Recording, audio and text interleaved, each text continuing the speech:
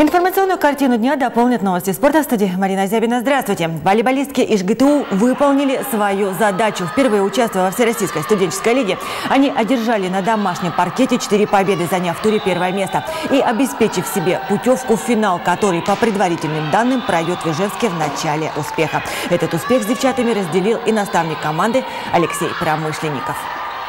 Тем временем хоккеисты из Штали на своем льду принимали команду Южный Урал из Орска. Это одна из последних домашних встреч Столиваров в этом сезоне. Смогли ли наши ребята порадовать болельщика, знает Татьяна Мальцева. На поле две команды, решающие разные задачи. Одна четвертая сверху в турнирной таблице, другая вторая снизу. Первые ждут решающих игр серии плей-офф. Столивары уже ничего не ждут. Их цель завершить сезон на мажорной ноте. Для нас мотивация одна. Три последние игры дома этого сезона, потому что пока мы дальше не идем. Хочется, чтобы у болельщиков-то осталось не то, что было в начале сезона, а то, что вот сейчас как бы вырисовывается. Как ни парадоксально, но та дружина, на которую в начале сезона болельщики повесили ярлык неудачников, под занавес заиграла. И шталевцы стали показывать достойный хоккей, чем, несомненно, порадовали болельщиков. Но возник резонный вопрос, почему раньше эта игра не шла? Раньше у нас было много моментов, не забивали. Сейчас игра идет у команды.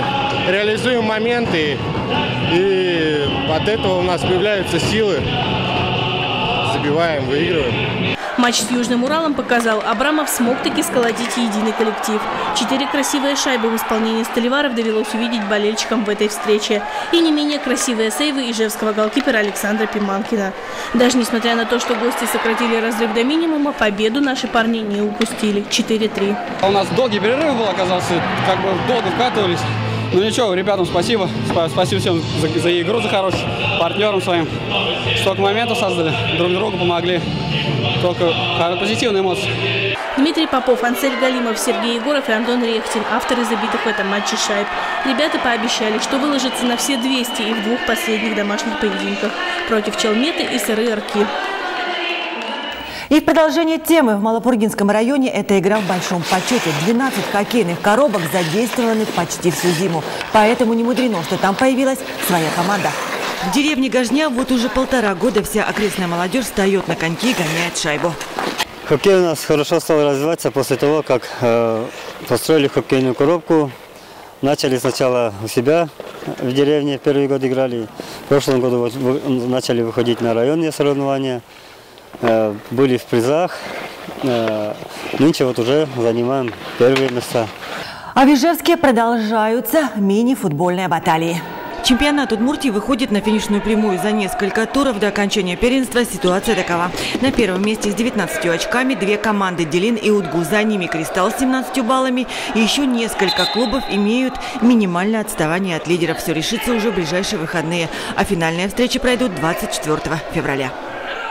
А в это время на ледовом овале Центрального республиканского стадиона соревновались участники чемпионата Удмуртии по конькобежному спорту среди инвалидов по зрению. Старт этот был для них этапом подготовки к Кубку страны в апреле. О кандидатах на поездку в Челябинск в нашем сюжете.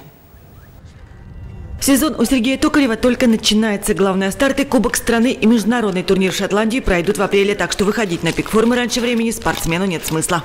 Пока нету такой задачи обновить личный рекорд, потому что лед тут не, не готов, будем так сказать, ага. чтобы рекорды на нем ставить.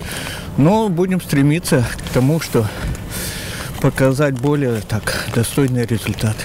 Высокий уровень для Токарева – это Паралимпиада. Эту мечту Сергей лелеет вот уже 30 лет в его копилке. Десятки наград со всесоюзных и всероссийских стартов, а олимпийской нет. Но это пока. Будем стремиться, что международный Паралимпийский комитет все-таки включит, пока говорят только о показательных выступлениях, но мы надеемся, что все равно что-то сдвинется, потому что поэтому мы и готовимся. Токарев легко выиграл забеги на 100 и 500 метров. Наш паралимпиец и на национальном старте в Челябинске настроен быть первым. В прошлом году на Кубке страны Сергей один завоевал 5 золотых медалей. Десятку на предстоящем турнире намерены войти и Елена Игнатьева с Игорем Ершовым. Но это для них какая-то позитивное как бы, событие в жизни, э, что-то, развитие физических каких-то способностей, перспективы, может быть, победа в всесоюзных, всероссийских соревнованиях, выход на более высокий спортивный уровень. В следующий раз паралимпийцы соберутся вместе 23 февраля на турнире «Лед надежды нашей». А сейчас приятные вести из Казани, с первенства страны по художественной гимнастике, где живчанка Анастасия Каракулова среди девочек 2000 года рождения заняла четвертое место. Ее выступление не осталось незамеченным главным тренером сборной России Ириной Веннер. Она пригласила Настю на гран-при в Москву в начале марта. Такой чести удостаиваются не все спортсменки. На этом я с вами прощаюсь. До встречи завтра.